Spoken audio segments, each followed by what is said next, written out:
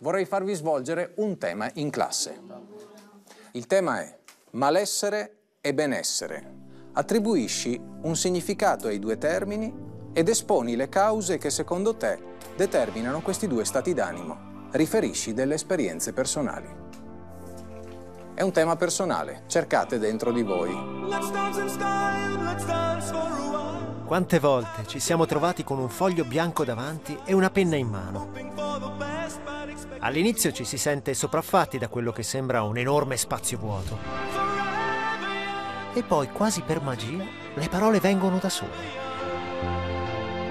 Malessere e benessere. Nel corso della mia vita, fino ad ora, ho incontrato entrambi gli stati d'animo. Ognuno ha la sua storia e i suoi momenti tristi, non classificabili in una scala di dolore, perché il dolore è soggettivo. Il momento più triste della mia vita l'ho vissuto esattamente sei mesi fa, con la separazione dei miei genitori. Mi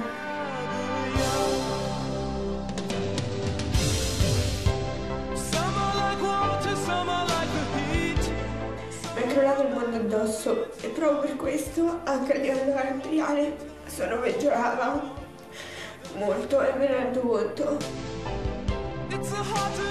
Posso ritenermi fortunato, non mi è mai mancato nulla, ma c'è una cosa che mi accompagna continuamente in un istante, l'ansia. Lei è ovunque e rovina ogni singola mia esperienza positiva, impedendomi di essere me stessa.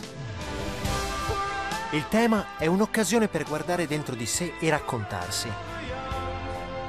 Ma le parole possono anche fare paura, soprattutto a chi di solito si sente invincibile. Dorelfi è l'unica che non sta scrivendo. Ma perché non mi va di scrivere?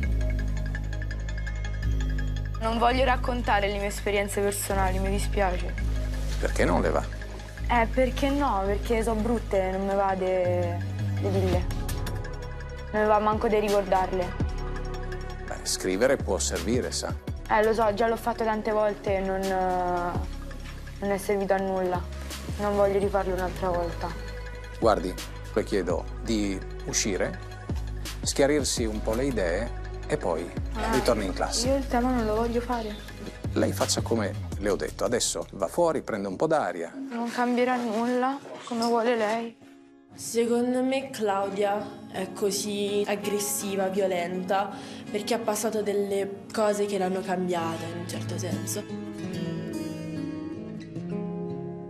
Non va di raccontare il mio passato, perché è brutto. Cioè, non mi va di raccontarlo perché è brutto.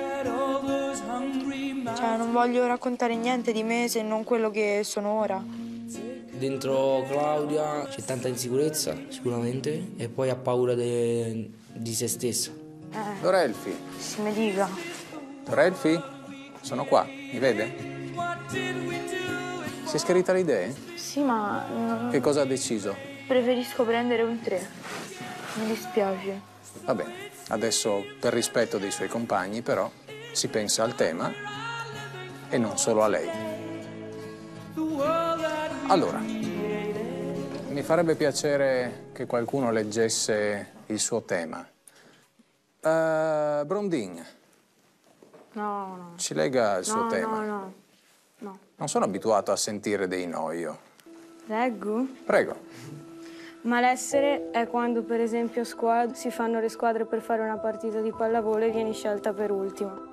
Quando dopo aver organizzato una festa, tutti i tuoi amici il giorno prima si inventano delle scuse per non venire. Quando provi a chiedere a qualcuno perché è così con te, ti rispondono che è colpa tua facendoti sentire peggio. Quando tutti i tuoi amici ti voltano le spalle senza un apparente motivo. Sinceramente non saprei come spiegare bene il benessere perché non sono così felice, non ho tanti amici. Spero che qua riuscirò a trovare degli amici veri e stare bene con le persone perché ne ho bisogno. Vede, ha ricevuto anche un applauso spontaneo. Aresta, è rimasta colpita? Patata! Raccontare qualcosa di nostro può servire a qualcun altro. Spero di poterti aiutare. Grazie. Crispino, sarei curioso di sentire il suo tema. Ma non lo leggo, Perché non vuole leggerlo? dà fastidio. Che cosa le dà fastidio? Voglio farmi vedere debole da tutti. Le dà fastidio leggere le sue parole? Mio padre a otto mesi eh, mi ha lasciato da solo con mia madre e con mie, le mie sorelle e i miei fratelli e lui è andato via perché ha fatto questa cosa. Da papà avrei avuto affetto, cioè l'affetto che credo di meritarmi. È una persona riservata lei? Odio far sapere le cose agli altri. Da Dario, legga lei il suo tema, prego. Stare bene con me stessa per quanto mi riguarda non è mai stato semplice. Spesso infatti non mi sopporto, come credo quasi tutti. Però qualche volta trovo delle persone in grado di farmi amare Vilma un po' di più. Dopo tanto tempo, e dopo tante cose che mi sono successe, mi sono sentita capita da qualcuno. E credo di essermi innamorata. Oddio, io non lo so che cos'è l'amore, ma credo che quello che io ancora provo per lui dopo tanto tempo si avvicini molto alla concezione che si ha di quest'ultimo. Lui per me è stato una specie di supereroe, pronto a salvarmi, ma i supereroi non possono amare un super cattivo. E quindi l'ho allontanato con i miei modi di fare, con il mio essere rude, e l'ho ferito. Questo è malessere, non poter rimediare ai propri errori e dover imparare a convivere con loro. Mi prendo a pugni il cuore da sola, masochismo e rimpianto. Avrei avuto avere il coraggio di, ma sì, non se ne frega di niente, va bene. Lei ha un modo di scrivere molto intenso. Boh, scriveva così anche mio padre, mi dicono. Però cioè, io mio papà non l'ho conosciuto bene, perché cioè, l'ho conosciuto, e me lo ricordo. È morto che io avevo dieci anni. Cioè, si è ammalato che ne avevo sei comunque. Però sì. Cioè, di solito non piango dicendo queste cose, perché comunque sono passati quattro anni. E credo di essere comunque matura adesso. Cioè, nel senso, sono...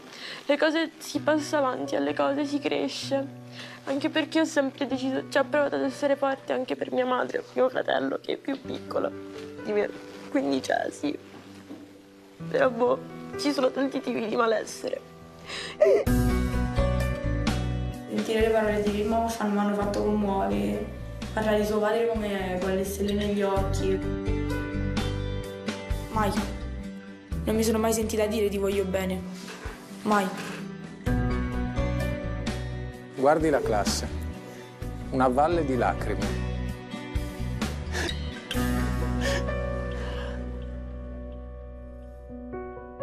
Non, non riesco a piangere, cioè non ho emozioni. Io mi domando sempre, cioè perché non piango? Perché non piango? E non riesco proprio a piangere.